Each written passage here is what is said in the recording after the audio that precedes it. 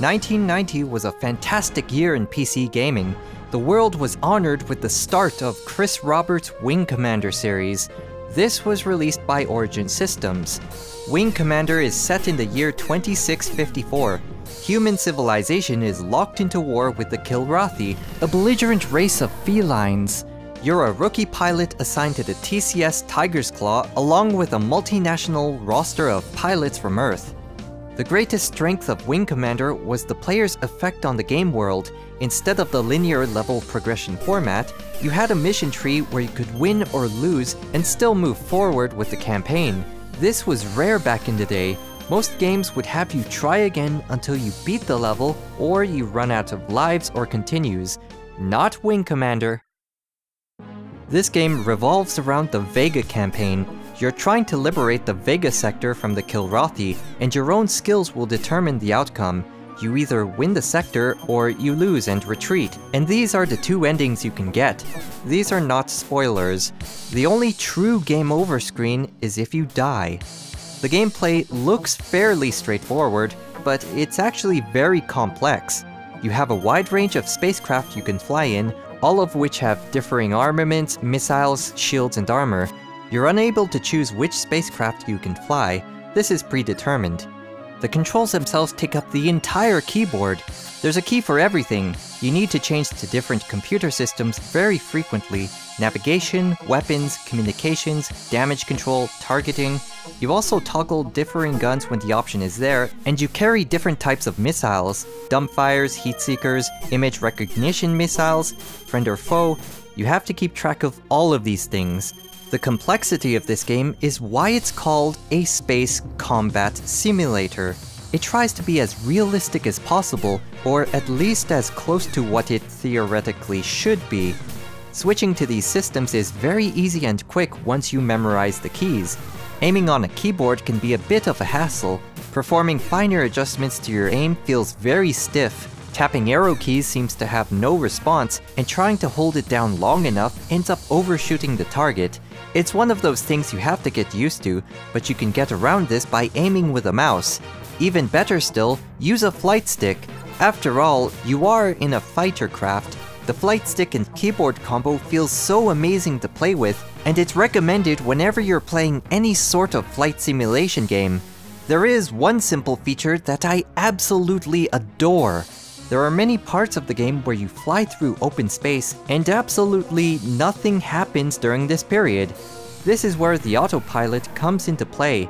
This allows you to skip massive amounts of empty space and gets you right into the action. I really like this feature. I hate these boring segments, and I'm really glad they implemented this feature into the game. But if you're one of those people who likes flying around empty space all day, you can still do that.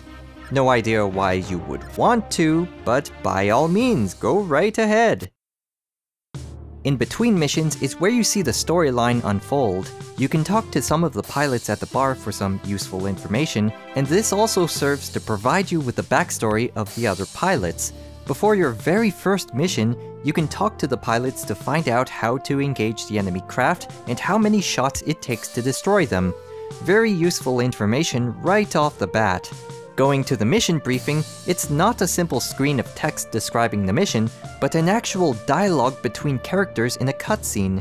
The captain assigns the missions and the wingmen here, and the pilots are asking questions about the missions. The graphics here are surprisingly detailed, smooth animations, 256 colors, there's even a sequence where you're running to your spacecraft with a sense of urgency. There's a few kinds of missions you'll be flying. The most common of these are the patrol missions. Fly to every nav point, see what's there, engage the enemy if you can, fall back if you can't. Destroying the enemy is great, but it's not an absolute requirement here. Gathering intelligence counts as a win, and that's one of the things I like about this game. It's not about racking up the kills, it's about your contribution to the overall war effort.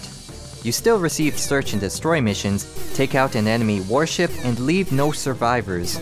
The game does have escort missions, but fortunately they follow a preset path rather than following you. The escort missions were done correctly here. Some of these missions were designed to be very hard, almost impossible even. The developers intended you to lose a few missions. Nobody is a perfect pilot. If you have to eject or return to the ship without completing the mission, then you just have to do it. To complicate things even further, it's possible for your wingmen to die. This goes back to your own skills as a pilot. If you're unable to cover them when they need it, the Kilrathi can gang up on them and they will die, so you're punished with an increase to the difficulty in later missions. This will reflect on board the Tiger's Claw when the ship starts to feel empty and you're assigned to fly solo missions. This is what makes Wing Commander stand out. The story and the gameplay is very dynamic. Any mission can succeed or fail, anyone can live or die, and this all depends on how well you play the game. The graphics in general is probably the weakest part of the game. Even though it's from 1990, it is what it is. The cutscenes and the user interface, basically all the 2D stuff, that's where the graphics shine, and as I said earlier, the graphics are surprisingly detailed here. It's when they have a negative impact on the gameplay is where we run into problems. All the fighters and ships are represented by 2D sprites with numerous facing angles in 3D space. These are scaled based on the distance, ranging from a few pixels to a moderate amount of detail up close. This works for the smaller fighter craft, but not so much for the larger warships. They take up a larger amount of space, and it's possible to collide with them even though it looks like you can pass. When you're trying to land on the Tiger's Claw at the end of a mission, you have to make sure you're approaching the hangar. That's at the front of the ship. There are times I've crashed into the Tiger's Claw, but fortunately it wasn't enough to kill me. I could fly away and try again. This is a problem with the graphics. It's hard to tell where the hangar entrance actually is, but the detection is flexible enough that it's not a game-breaking issue. It's still a problem that rears its ugly head every once in a while. The game can also slow to a crawl if there's too many objects in the area. 4 to 5 craft is all it takes.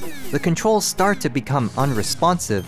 Sometimes I have to hold down the fire button for a good half a second just to fire off one shot. It's annoying, but again, it's not a game-breaking issue. The music is separated into a large amount of short clips instead of a few longer tracks. This allows the music to loop a few segments and transition between them depending on the current situation, and this helps to ensure the music doesn't get stale after a while. The sound effects are okay, nothing too special. The guns have the stereotypical pew pew pew sound, but everything else is really soft. Maybe my standards are too high, because when something explodes, I really want to hear a loud KABOOM! And this is absent from the game. Wing Commander was ported to a few other systems. The console ports have a drastically different feel to it. The Sega CD port is most notable for its audio. The music was replaced with a completely new soundtrack, and all the cutscenes have full voiceovers. Konnichiwa, Hachat-san. Please, take a seat. If I may say so, you are doing quite well. The sound effects also get an upgrade here. I finally have my loud explosions! The game is playable with 3-button controllers, but the controls are much more complicated. To mimic the PC controls, Start is held down to modify the actions of all the other buttons. This works, but it's very slow to use. Cycling through all the systems is a pain in the ass. On a keyboard, you can use C for communications, N for navigation, T for targeting, and you could do this very quickly. On the Sega CD, you have to hold down start and press A or C to cycle through these systems. It's such a hassle, but you can lessen this annoyance by using a 6-button controller. The graphics manages to maintain its level of quality, only the text on your HUD was made larger to make it readable on a TV. The only problem is the slowdown, and this happens with only 2 to 3 objects in the area. That aside, this is a port that tries to be faithful to the source material, and it does a good job despite the limitations. The Super Nintendo port tries to do this as well, but to a much lesser extent. One thing that surprises me here is that there's minimal slowdown. You can be up against 5 or 6 enemy fighters and the game will still run at the same speed. But this is probably due to some of the things they changed in this version. We have the Nintendo-style censorship, removing cigars, replacing the alcoholic drinks with snacks, that sort of thing. Many of the cutscenes are also less fluid and detailed. Some of these segments were removed altogether, like the second half of the landing sequence. It's not just the looks that are affected. If it was, then this port would be amazing, but it's not. Game speed aside, the gameplay suffers severely here. As with the Sega CD port, the controls are much more complicated. Select is held down to modify the actions of all the other buttons, so it's a similar problem to the Sega CD port. Regardless of how many enemies there are in the area, you can only engage one at a time. That's the problem with this version. I'm not entirely sure if it's because of the Super Nintendo's limitations, but in some ways, it actually cheapens the experience because you have to figure out which enemy you can technically engage. You're essentially playing whack-a-mole here. Most of the time, the right target is behind you, and for whatever reason, you can't simply turn around and get them in your sights. You're taking hits, and you can't dish out the damage yourself until you find the right target. If you were wondering why you were having trouble playing this, that's the reason, and it really sucks. It seems weird to me, but I'm guessing this is some sort of programming trick to minimize the slowdown. I don't think it was worth it, sacrificing the gameplay to maintain its speed. It's a severe enough problem that this port may have turned a lot of people away from the series. This version is also lacking a save feature, so instead, every time you finish a system, your progress is saved in the form of a password, there's no saving between missions. There was a non-playable demo released for the game, but these days we would call it a trailer. It's the engine showing off the gameplay and the cutscenes, and at the time, it showed people something they've never seen before, an immersive gaming experience. There was no playable demo or shareware game available, but that never stopped it from getting out the door. Wing Commander strikes a balance between gameplay and story, if you're a terrible player, you'll be punished for it. Whether you're a good player or not, you'll still be treated to an immersive experience. It's like watching a movie, except with you front and center, writing the story yourself. And this formula was further improved upon in the sequel. Wing Commander 2 Vengeance of the Kilrathi. For the sake of the storyline, the winning story from the previous game was considered to be canon, and many of the pilots were kept alive. Wing Commander 2 told a much darker and more mature story, and there were some cutscenes that occurred during the missions themselves. In order to tell this deeper story, many of the original gameplay features had to be thrown out. You had a simplified mission tree, and your wingmen couldn't die. These elements would interfere with the script, the character development, and they would simply make a mess of the story. But the trade-off here was worth it. So with the emphasis on story in Wing Commander 2, one of the new features that augments this is the use of voice acting with the speech accessory pack. Not everything had voiceovers, but the voices in the major cutscenes took the immersion to the next level, more so than the voices in Wing Commander 1's Sega CD port. Speak of your plans, not of your toys. Tell me how you will defeat the Terrans. Yes, my Emperor.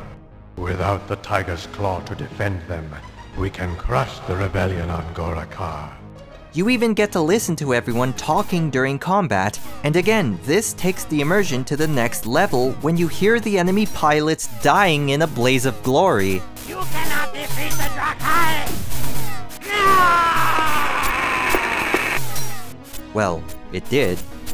Gameplay-wise, it's still the same game mechanics and controls. You have new craft you can fly in, and some familiar ones as well. Missions can still be won or lost, but there are now fewer branches in the mission tree, and in some cases, a loss will end the game. So now, it's more important than ever to win missions. Again, this goes back to the emphasis on story. Too many paths will result in players never seeing a good portion of the game, so why bother making it? The graphics have slight improvements, but they remain more or less the same, and the game runs faster. You can have more objects in the area before you notice any slowdown. When you're taking major hits, they become apparent when your equipment is getting busted up. These games were very important for pushing hardware in the market, PC gamers of the time wanted to buy a new system just to play Wing Commander 1, and Wing Commander 2 did something similar for the Sound Blaster card thanks to the speech accessory pack. Wing Commander 2 also had a non-playable demo similar to its predecessor, but there were no ports for the game. This was exclusive to MS-DOS, and gamers were still craving for more.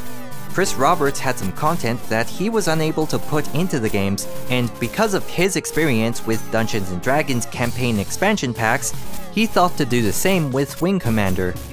Each of these was another campaign with 18 to 20 missions to play through, but they were much more simplified.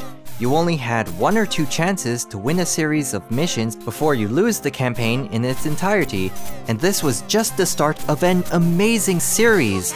The first game strikes a balance between gameplay and story, and the second focuses on story at the cost of some gameplay. In both cases, they tried to deliver an immersive experience instead of just being another video game, and deliver they did. Some of its attributes do not translate well to the modern era of gaming, like the 2D sprites on the larger ships and the slowdown I mentioned earlier, but the progress in technology allowed the sequels to take the series to the next level.